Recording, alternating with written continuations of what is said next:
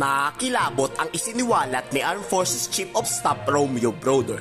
Dito may pinaplano raw ang mga kaliwang grupo na nagbabalak patalsikin sa pwesto si Pangulong Bongbong Marcos bilang Pangulo. Gaano kaya katotoo na papalayasin nila si PBBM sa Malacanang? At papaano kaya nila ito gagawin? Panibagong martial law na naman ba to pag nagkataon?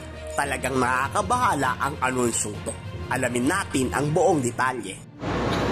Marami po tayong naririnig ngayon, mga, mga uh, masasabi natin mga destabiliz- destabilization efforts. May mga nagsasabi na dapat palitan ang ating, ang ating Pangulo no, dahil sa maraming rason. May mga nagsasabi na dapat ay uh, magkaroon ulit ng kudeta.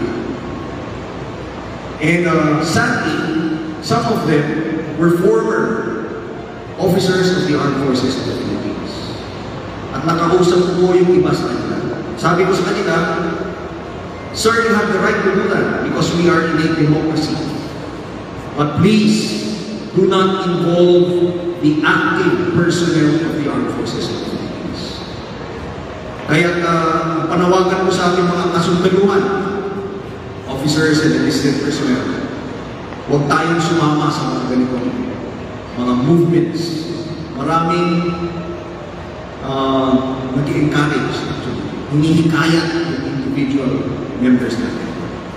Once we find out that any one of our active personnel are involved in this, we will act swiftly but judiciously. So huwag na. Huwag na natin, uh, huwag na tayo mag-isip. Maawa na tayo sa ating bansa. Let's give our, our, our country a chance to move forward to progress. Pero nagsasagawa na ng investigasyon ng Armed Forces of the Philippines kung totoo man ang balibalita. Pero hindi anya hahayaan ng AFP na AFP rin ang sumira sa maayos na pamamalakad ni PBBM sa gobyerno. seriously that we would uh, protect the Constitution and the duly constituted authorities at uh, hindi dapat kami uh, sumasali sa kahit na anumang mga movements no, na meron dyan.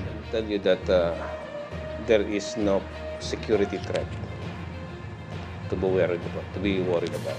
The Armed Forces of the Philippines is a professional organization. We follow the law, we follow the chain of command, and we are loyal to the Constitution. I don't see any reason for any destabilization. So far, on, the, on uh, our side, uh, wala. Uh, there, there's no reason. Bakit ba kaya may mga taong gustong gusto na sila ang nasusunod at gagawa at gagawa ng paraan para makuha lang ang kapangyarihan? Kayo sa tingin nyo, ikomento sa baba ang sa lobby.